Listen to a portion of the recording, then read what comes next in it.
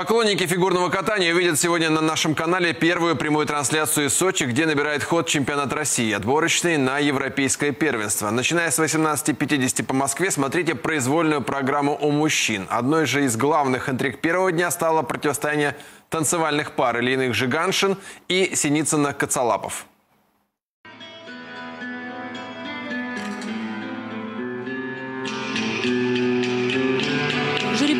развела их максимально далеко друг от друга. Никита Коцалапов с Викторией Синицыной выступали первыми. Их бывшие партнеры Елена Ильиных и Руслан Жиганшин – последними.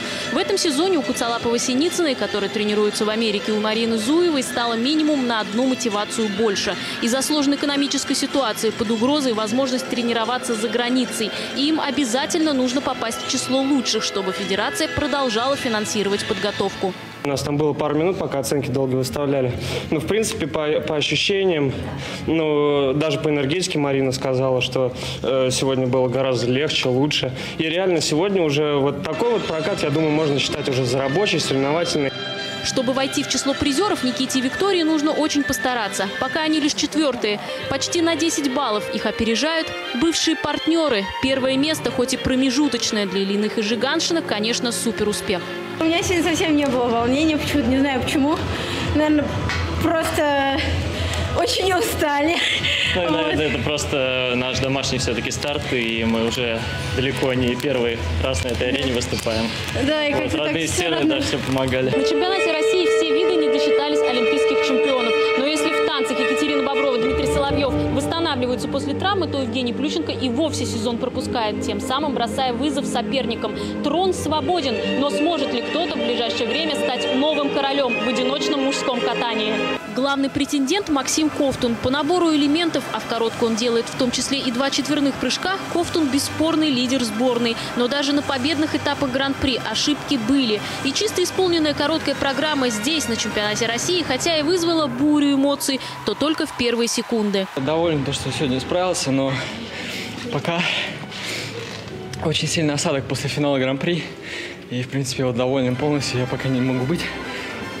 Только уже на предстоящих стартах э, международных.